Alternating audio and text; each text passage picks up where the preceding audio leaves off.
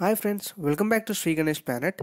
సాధారణంగా మనం విమానం ఎక్కితే వీసా ఇమిగ్రేషన్ చెక్లు అనే పదాలు వింటూ ఉంటాం. కానీ మన భారతదేశంలో ఒక రైలు ఎక్కితే మాత్రం మీకు వీసా ఇమిగ్రేషన్ చెక్లు ఖచ్చితంగా అవుతాయంట. ఆ రైలు పేరు ఏదో కాదండి సంజోతా ఎక్స్ప్రెస్. ఈ రైలు భారత భూభాగం నుంచి పాకిస్తాన్ బార్డర్ వరకు వెళ్తుంది. అక్కడి అటారీ అనే భారత భూభాగపు చివరి స్టేషన్లో ఇమిగ్రేషన్ మరియు ఐడెంటిటీ చెక్లు అవుతాయంట.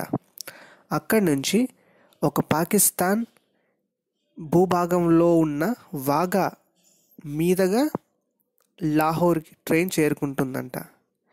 కానీ మొదట వాగా అనే స్టేషన్లో ఇమిగ్రేషన్ మరియు వీసా చెక్లు జరుగుతాయంట. ఇమిగ్రేషన్ చెక్ పూర్తయిన పిమ్మట లాహోర్కి ట్రైన్ చేరుకుంటుందంట. ఈ రైలు వారానికి రెండుసార్లు నడుస్తుంది.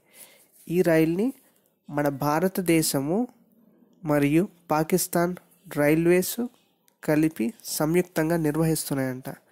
That's all for today friends please subscribe to Shri Ganesh planet ఖచ్చితంగా మా ఛానల్ సబ్స్క్రైబ్ చేసుకోండి. టన్స్ ఆఫ్ ఇన్ఫర్మేషన్ తెలుసుకోండి. Thank you all